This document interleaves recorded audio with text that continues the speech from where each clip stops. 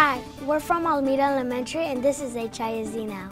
29 HISD schools will kick off the new school year as new education system schools where teachers will receive more resources and supports to improve student outcomes.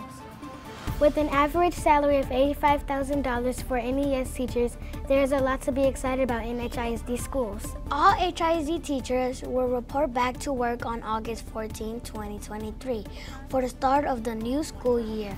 All students will return August 28 for the first day of school. The new school board elected officers during their first public meeting. Audrey Momanaee will serve as president, Ric Campo will serve as vice president, and Angela Lemond Flowers will serve as secretary. The board also approved the contract for Superintendent Mike Miles at the June 22nd board meeting. Go to the HISD's Board of Education webpage to learn more about each board member. Well, that's it for this edition of HISD Now. Be sure to keep up with the latest happening in HISD by checking out the district's website and all of our social media platforms that appear on your screen.